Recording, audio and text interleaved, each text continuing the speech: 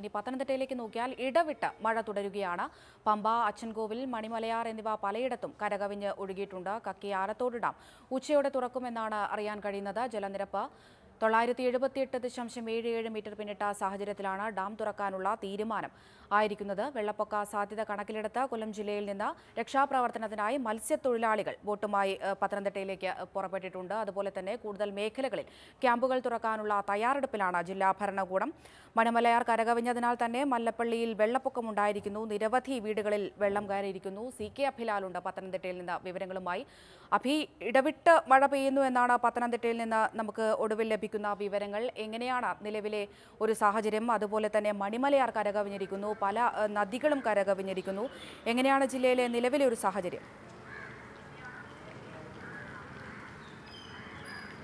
പമ്പയും അച്ചൻകോവിലാറും മണിമലയും കരകവിഞ്ഞ് ഒഴുകുന്ന സ്ഥിതി തുടരുകയാണ്. അതേസമയം തന്നെ അർദ്ധരാത്രിക്ക് ശേഷം ജില്ലയിൽ പലയിടങ്ങളിലും മഴയ്ക്ക് കാര്യമായ കുറവുണ്ട്. ഇപ്പോൾ അരമണിക്കൂർ അട അതിൽ അരമണിക്കൂറോ അതിലധികമോ ഇടവേളകളിലാണ് ചെറിയ മഴ ലഭ്യമാകുന്നത്. അർദ്ധരാത്രിക്ക് ശേഷം വെള്ളം കഴിഞ്ഞ മണിക്കൂറുകളൊക്കെ തന്നെ വെള്ളം കയറിയിരുന്ന മേഖലകളിൽ നിന്നും വെള്ളം ഇറങ്ങി തുടങ്ങുന്നു എന്നതിന്റെ സൂചനകൾ ലഭ്യമാണ്. ദൃശ്യങ്ങളിലുള്ളത് ആറന്മുള ക്ഷേത്രത്തിന് സമീപം ഉള്ള തറയിൽ മുക്ക് പ്രദേശം അതോടൊപ്പം തന്നെ സത്രക്കടവ് മേഖലയാണ്. സത്രക്കടവ് ഇന്നലെ രാത്രി ആറു മണിയോടുകൂടി സന്ധി സന്ധിക്കാണ് വെള്ളം റോഡിലേക്ക് കയറിയത്. അത് പതിയെ ഉയർന്നു വരികയും പന്ത്രണ്ട് മണിക്ക് ശേഷം മഴയുടെ കുറവ് കൂടി കണക്കാക്കുമ്പോൾ അത് നേരിയ തോതിൽ ഇറങ്ങി തുടങ്ങിയിട്ടുണ്ട്. പോലീസ് സ്റ്റേഷന്റെ ഭാഗത്തേക്ക് അടക്കം ഗതാഗതം തടസ്സപ്പെട്ടിട്ടുണ്ട്. കോഴഞ്ചേരി ആറന്മുള ചെങ്ങന്നൂർ റൂട്ടിൽ ഗതാഗതം സാധ്യമാകാത്ത സ്ഥിതിയുണ്ട്. അതേസമയം തന്നെ വലിയ ജില്ലയിൽ വലിയ തോതിൽ വെള്ളം ഉയർന്ന മറ്റൊരു മേഖല മല്ലപ്പള്ളി താലൂക്ക് പ്രദേശത്താണ്. മണിമലയാർ കടന്നു പോകുന്ന ആനിക്കാട് വായ്പൂർ മല്ലപ്പള്ളി പ്രദേശങ്ങളിൽ നിരവധി വീടുകളിൽ വെള്ളം കയറിയിട്ടുണ്ട്. ആ മേഖലയിൽ രക്ഷാപ്രവർത്തനം തുടരുകയാണ്. എൻ ഡി ആർ എഫ് സംഘത്തെ സഹായിക്കുന്നതിനും കൂടുതൽ മേഖലകളിൽ ദുരിതാശ്വാസ പ്രവർത്തനങ്ങൾ എത്തിക്കുന്നതിന്റെയും ഭാഗമായി സർക്കാരിന്റെ ഇടപെടലിനെ തുടർന്ന് കൊല്ലത്തു നിന്നും മത്സ്യത്തൊഴിലാളികളുടെ സംഘം എത്തിച്ചേർന്നിട്ടുണ്ട്.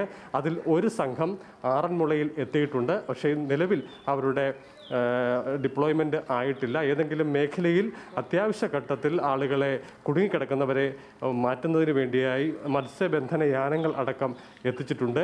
വിവിധ മേഖലകളിലെ സ്ഥിതിഗതികൾ പരിശോധിക്കുമ്പോൾ ജില്ലയിൽ പരക്കെ മഴയുടെ ലഭ്യതയിൽ കുറവ് വന്നിട്ടുണ്ട് എന്നുള്ളത് നേരിയ ആശ്വാസം പകരുന്നതാണ്. പക്ഷേ നദീതീരങ്ങളിലെ താമസക്കാരൊക്കെ തന്നെ ആശങ്കയിലാണ്. രാത്രി കാലം രാത്രി കഴിഞ്ഞ രാത്രി അവർ ചിലവിട്ടത് തന്നെ ഏറെ ആശങ്കയോടുകൂടി തന്നെയാണ്. പലർക്കും ഉറക്കം നഷ്ടപ്പെട്ട സാഹചര്യമുണ്ട്. മല്ലപ്പള്ളി മേഖലയിൽ ഇന്നലെ രാത്രി വൈകിയും രക്ഷാപ്രവർത്തനം നാട്ടുകാരുടെയും പോലീസിന്റെയും ഫയർഫോഴ്സിന്റെയും നേതൃത്വത്തിൽ തുടർന്നിരുന്നു. നിരവധി ആളുകളെ രാത്രിയിൽ തന്നെ സുരക്ഷിത സ്ഥാനങ്ങളിലേക്ക് മാറ്റിയിട്ടുണ്ട്. വ്യാപാരികളും വലിയ തോതിൽ ആശങ്കയിലായിരുന്നു. കാരണം വ്യാപാര സ്ഥാപനങ്ങളിൽ വെള്ളം കയറുന്നത് മൂലം അവർക്കുണ്ടാകുന്ന നഷ്ടം. കാരണം കഴിഞ്ഞ കാല അനുഭവങ്ങൾ രണ്ടായിരത്തി പതിനെട്ടിലെ വലിയ പാഠമൊക്കെ തന്നെ മുന്നിൽ അവർക്കുണ്ട്. അതുകൊണ്ട് രാത്രിയിൽ പരമാവധി മേഖലയിലെ വ്യാപാരികൾ സാധനങ്ങൾ മാറ്റിയിട്ടുണ്ട്.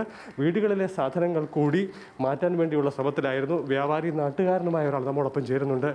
നിലവിലെ സാഹചര്യം പരിശോധിക്കുമ്പോൾ ഒരു സമാധാനത്തിനുള്ള അതെ അതെ. നിലവിലെ സാഹചര്യത്തിൽ നമുക്കിപ്പോൾ വെള്ളം ഇറങ്ങിക്കൊണ്ടിരിക്കുകയാണ്. ഇന്നലെ രാത്രി ഒരു ഏകദേശം ഒരു രണ്ട് മണി വരെയോളമാണ് വെള്ളം വന്നുകൊണ്ടിരുന്നത്. അതിനുശേഷം വെള്ളത്തിന്റെ വരവ് കുറഞ്ഞിട്ടുണ്ട്. ഇപ്പം നമ്മൾ നിൽക്കുന്ന സ്ഥലത്ത് ഇപ്പം നമുക്ക് നോക്കിയാൽ തന്നെ അറിയാം വെള്ളം കുറഞ്ഞുകൊണ്ടിരിക്കുകയാണ്. അതിന്റെ ഒരു ആശ്വാസമുണ്ട്. രാത്രി ഞങ്ങൾ സാധനങ്ങൾ കടയിലെ സാധനങ്ങൾ രാത്രി എല്ലാം മാറ്റിയിട്ടുണ്ടായിരുന്നു. അതിനുശേഷമാണ് വീട്ടിൽ പോയത്. ഇപ്പം വെളുപ്പിന് ഇങ്ങോട്ട് വന്നതേ ഉള്ളൂ.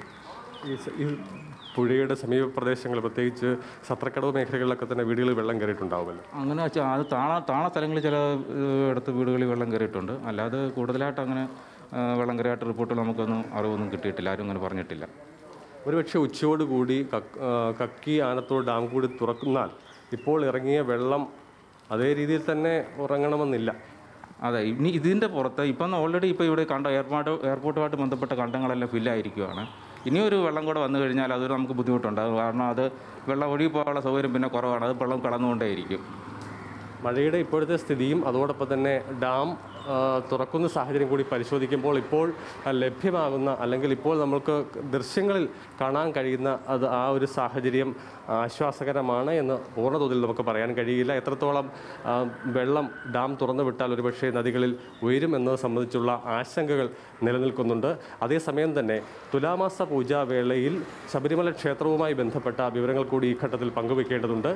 ശബരിമല ക്ഷേത്രത്തിൽ ഇന്നു മുതൽ അഞ്ച് ദിവസത്തേക്കാണ് ദർശനത്തിന് അനുമതി ഉണ്ടായിരുന്നതെങ്കിൽ ഉണ്ടാകുമെങ്കിൽ ആ മേഖലയിലെ മഴയുടെ തോതും അപകട സാധ്യതയൊക്കെ തന്നെ പരിഗണിച്ചുകൊണ്ട് ഇന്നും നാളെയും ശബരിമല ദർശനത്തിന് ആളുകളെ പ്രവേശിപ്പിക്കേണ്ടതില്ല എന്ന് സർക്കാർ ഇന്നലെ തന്നെ തീരുമാനമെടുത്തിരുന്നു. അതാൽ അതേസമയം തന്നെ ഇന്ന് പുലർച്ചെ നട തുറക്കുമ്പോൾ ദർശനം ലക്ഷ്യം വെച്ചുകൊണ്ട് ഇന്നലെ വൈകുന്നേരം അതായത് സർക്കാരിന്റെ തീരുമാനം വരും മുമ്പ് പമ്പയും അതോടൊപ്പം തന്നെ ആ മേഖല കടന്നുപോയ ഭക്തർക്ക് ദർശനാനുമതിയുണ്ട്. എന്നാൽ നിലയ്ക്കലിൽ ക്യാമ്പ് ചെയ്ത ഭക്തർക്ക് ഭക്തരെ ഇന്നും നാളെയും കടത്തിവിടേണ്ടതില്ല.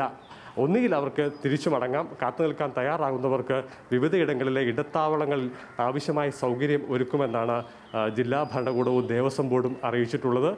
ശബരിമല സന്നിധാന മേഖലകളിൽ പുലർച്ചെയും ശക്തമായ മഴയാണ് ഉണ്ടായിട്ടുള്ളത്. അവിടെ ശബരിമലയിലെയും അതോടൊപ്പം തന്നെ മാളികപ്പുറത്തെയും മേൽശാന്തി നറുക്കെടുപ്പ് കൂടി ഇന്ന് എട്ട് മണിയോടുകൂടി തുടങ്ങുന്നുണ്ട്. അതുകൂടി അതിനുകൂടി സാക്ഷ്യം വഹിക്കാൻ വേണ്ടിയാണ് ഇന്നലെ വൈകുന്നേരം അടക്കം നിരവധി ഭക്തർ മല ചവിട്ടി എത്തിയിട്ടുള്ളത്. അവർക്ക് സുഖദർശനത്തിലുള്ള സ- ഉണ്ട്. അതേസമയം തന്നെ പുലർച്ചെ മൂന്ന് മണിക്കാണ് സാധാരണഗതിയിൽ നിലയ്ക്കൽ നിന്നും ഭക്തരെ അവിടേക്ക് കടത്തിവിടുക. അത് ഇന്നും നാളെയും ഉണ്ടാവുകയില്ല എന്ന് സർക്കാർ അറിയിച്ചിട്ടുണ്ട്. ഇന്നത്തെയും നാളത്തെയും സാഹചര്യം കൂടി പരിഗണിച്ചായിരിക്കും വരുന്ന പിന്നീടുള്ള ദിവസങ്ങളിലെ തീർത്ഥാടനത്തിന്റെ കാര്യത്തിൽ സർക്കാർ തീരുമാനം എടുക്കുക.